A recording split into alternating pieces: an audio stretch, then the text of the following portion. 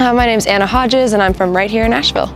I think like specifically like with the film scoring, it's been super interesting just like watching like movie trailers and like ads. You're like, wow, like I kind of know like what the thought process is like. You're hearing all the little elements. It's been super interesting. And also just like living on campus has been like super fun, like getting kind of like that little bit of college experience and kind of thinking about what that might be like for me in the future. I feel like I've talked to more people than I normally would in a social setting. Um, I feel like I've gotten a really good college experience by being able to live in the dorm at like an actual college campus. Um, and I feel like I've just had a really good time here. Personally, I was really nervous about um, coming here. Uh, I, I've been worried about, you know, curious which, um, what path I wanted to take for college.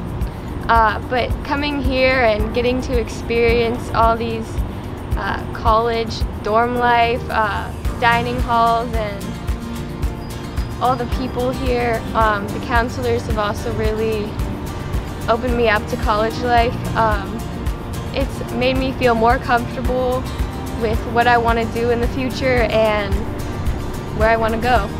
I'm Sophia Mott and I'm from Apex, North Carolina.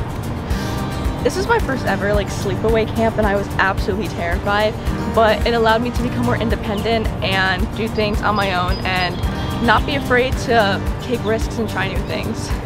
My favorite part of the outside um, academic was getting to meet new people and I met two really, really now good friends of mine and I couldn't have done it without this program.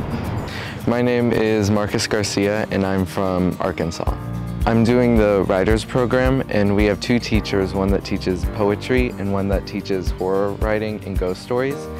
Uh, it's exciting to learn uh, two contrasting ideas and explore my writing and creativity uh, with two different writers who are really amazing at teaching. Um, it helps me grow out of my shell. I've never been to um, an overnight camp in a different state so it's been really challenging at first to kind of like get to know people and kind of um, have a conversation. But as the camp went on, I met really good friends and it's just helped me like grow as a person.